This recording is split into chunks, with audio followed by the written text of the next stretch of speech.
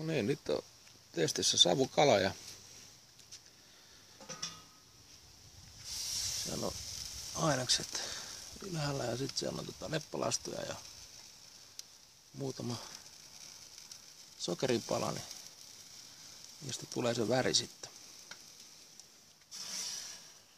Ja paistoaika on noin,